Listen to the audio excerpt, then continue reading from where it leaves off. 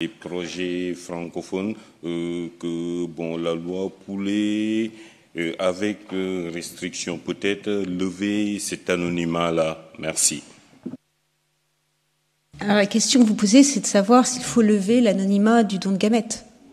Alors ça fera euh, l'objet euh, d'une conférence euh, qui sera auquel participera Madame Le Boursicot, qui est, qui est d'ailleurs ici. Je pense que c'est un vaste débat. un rapport ben, proposé par Irène Terry et Anne-Marie Leroyer, qui, qui est ici, aussi proposé la levée de cet anonymat. Je pense que la question va être discutée parce que alors on a avancé, mais le rapport Terry et le Royer disaient que c'était pas forcément un argument déterminant. On avait avancé que la levée de l'anonymat risquait de faire euh, chuter le, les dons de gamètes.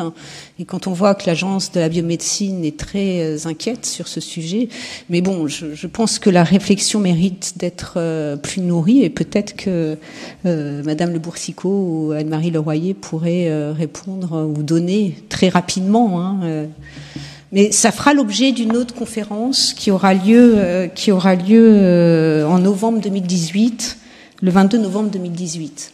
Je, crois qu'il faut toujours, sur cette question, réfléchir sur les situations du passé et celles de l'avenir. C'est-à-dire que même si l'on prévoit euh, la levée de l'anonymat pour les situations d'avenir, il faudra réfléchir à la manière dont on va gérer les situations du passé, dans la mesure où les donneurs se sont engagés en fonction de cet anonymat. Et j'ai beaucoup apprécié euh, la réflexion de M. Friedman tout à l'heure, qui disait que finalement, il fallait respecter la volonté, la volonté des parents, la volonté des enfants de savoir ou non, et la volonté du donneur de garder cet anonymat ou de le lever. Et finalement, euh, quand on voit ce qui a prévalu comme euh, principe directeur quant à l'accès euh, aux origines personnelles des personnes qui sont nées sous le secret, communément appelé accouchement sous X, eh bien, on voit que c'est ce respect de la volonté et de la dignité de chacun qui prévaut euh, comme principe, puisque ce n'est que lorsque les personnes qui sont nées sous ces conditions demandent la levée du secret qu'une démarche est entreprise auprès des personnes qui, elles, ont demandé le secret et que leur volonté euh, primera de toute manière.